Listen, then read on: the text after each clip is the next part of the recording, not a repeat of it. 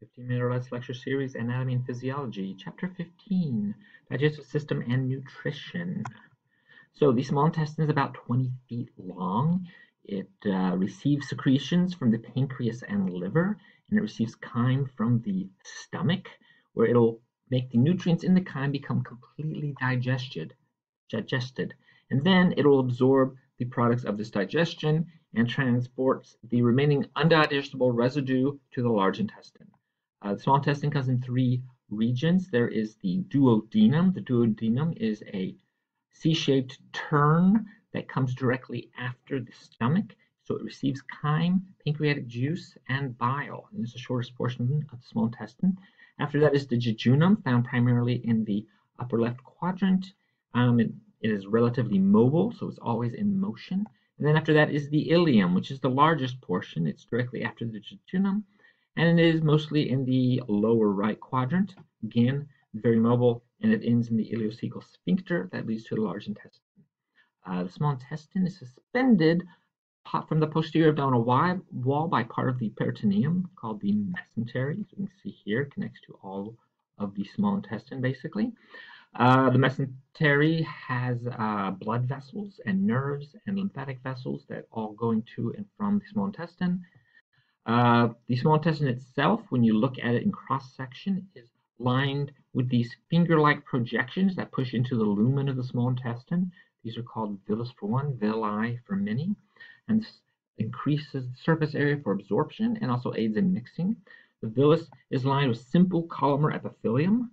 Um, inside the villus is blood capillaries surrounding a large lacteal tube, which is part of the lymphatic system. Lacteal carries absorbed lipids and fats, while the rest of the nutrients go straight into the bloodstream.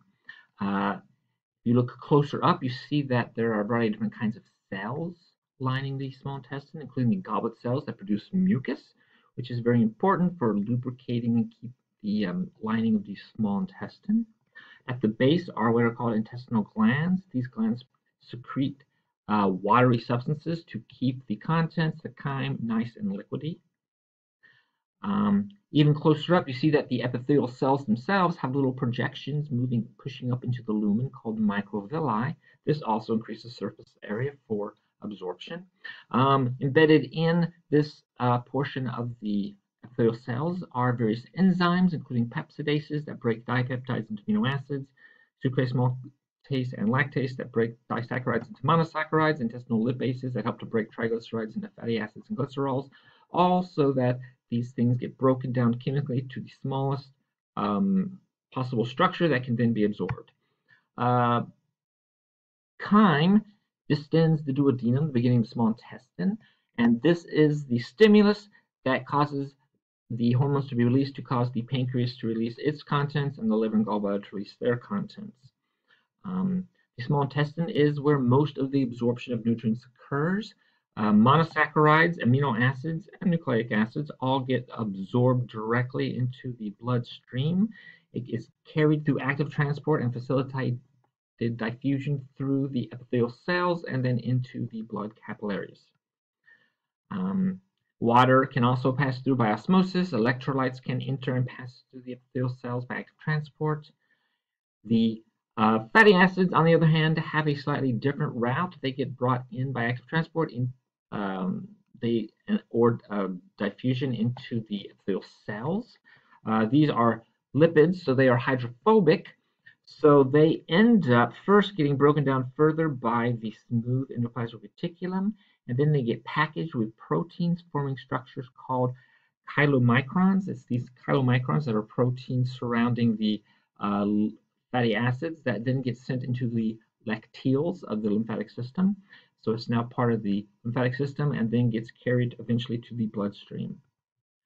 So the chylomicrons are very important because this is what allows the hydrophobic fatty acids and glycerols to be uh, carried in uh, the lymph and in the bloodstream and then eventually get carried to the fatty tissues and to muscular tissue.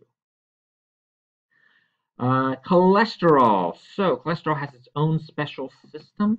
It is produced by the uh, liver or is brought into our body from the foods we eat. Um, it is produced in the liver and needs to head out to various tissues, including muscles and adipose tissue.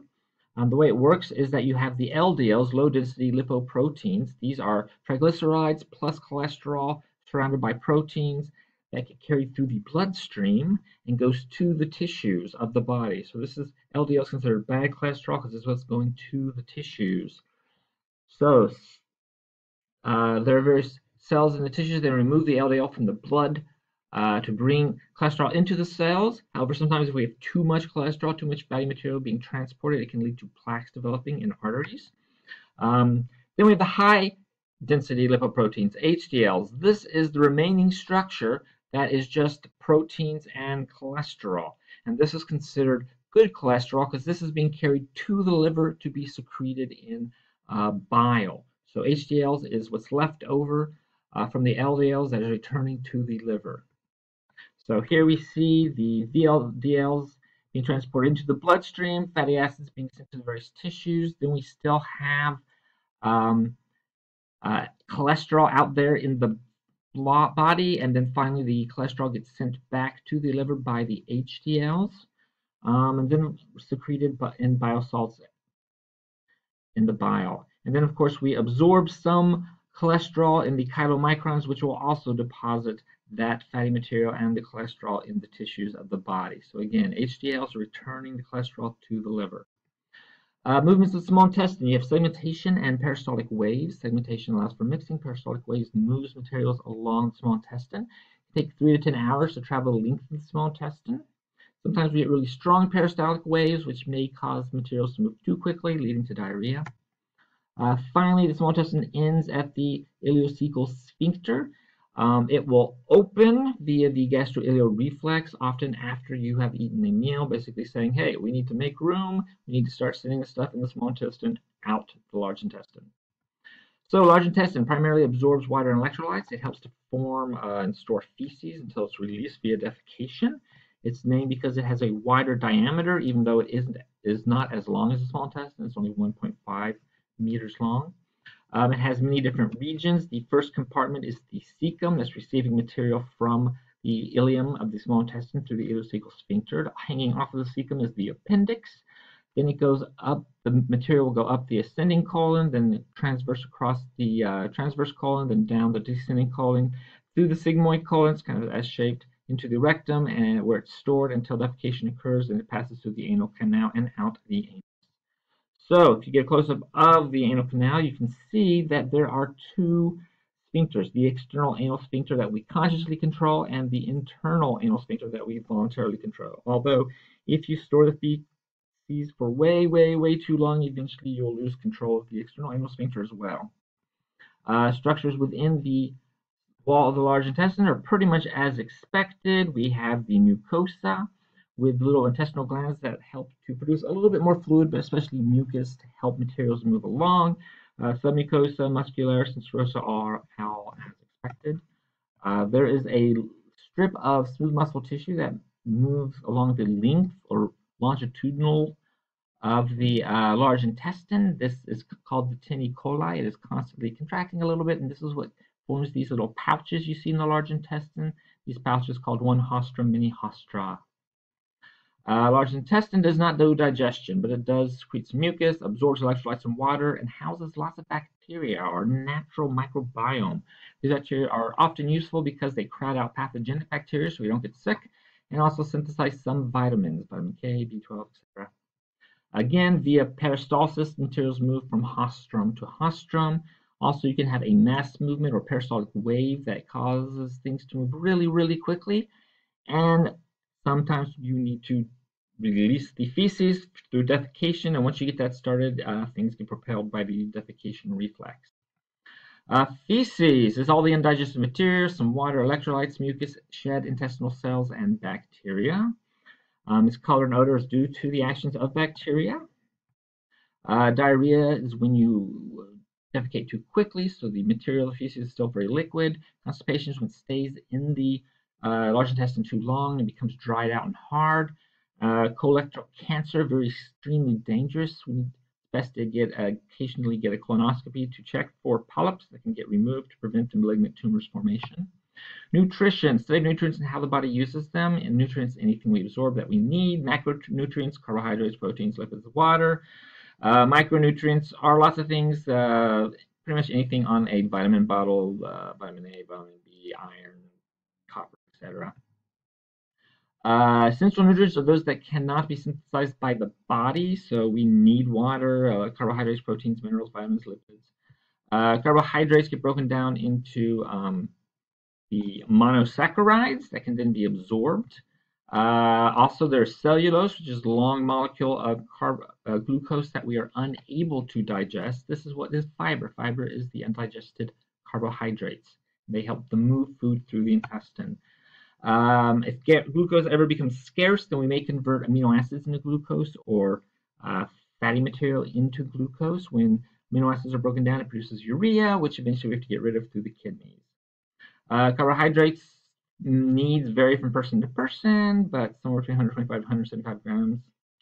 Uh, lipids, fats, they are commonly triglycerides is what we consume and use in our body, made of three fatty acids, one glycerol. Uh, we also produce and consume cholesterol. Uh, we produce all the cholesterol we need. Uh, saturated fats have all the hydrogens filling up all the carbons. Unsaturated fats have some double bonds between carbons, so they don't have all the possible uh, hydrogens. Uh, we break these down into um, glucose and three fatty acids. They get brought into the body and then often the absorbed eventually in the fatty tissue and the muscle tissue. There are some essential fatty acids that we cannot produce, omega-6 and omega-3. Um, and the liver produces cholesterol and tries to regulate how much cholesterol is in the body. Um, the liver also controls uh, triglyceride metabolism. Uh, triglycerides undergo hydrolysis to fatty acids and glycerol and then get uh, brought in to the lymphatic system.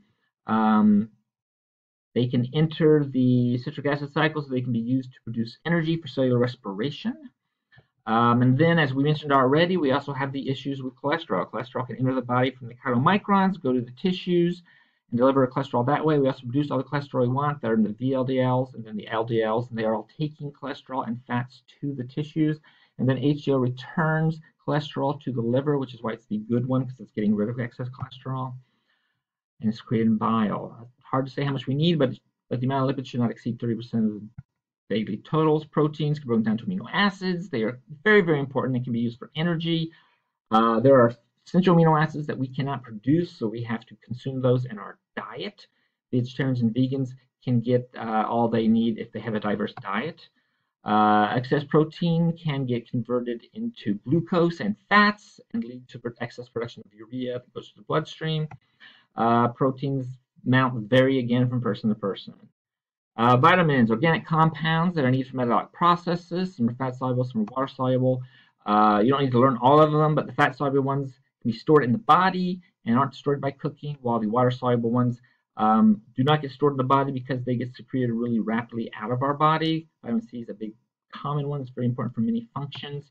Minerals are soil, things from the soil, iron, copper, calcium, etc um, and they can be incorporated in structures or used in um, uh, proteins. Uh, they can also be important for osmotic pressure issues and functions of lots of different structures in our body. Here's a list of a bunch of them. Um, this is how we now talk about how the proper nutrition, the proper diet. Um, BMI is determined if someone is of adequate weight, overweight, or obese. But again, this can be a little confusing. But overall, it's best to be at your healthy weight rather than not within the healthy range. Uh, malnutrition is means you have poor nutrition. This can either be from lack of essential nutrients or failure to utilize them. There's undernutrition, people starving because they're not getting enough food and nutrition. And overnutrition, where people are eating way too much and becoming very obese, which can also make them very sick.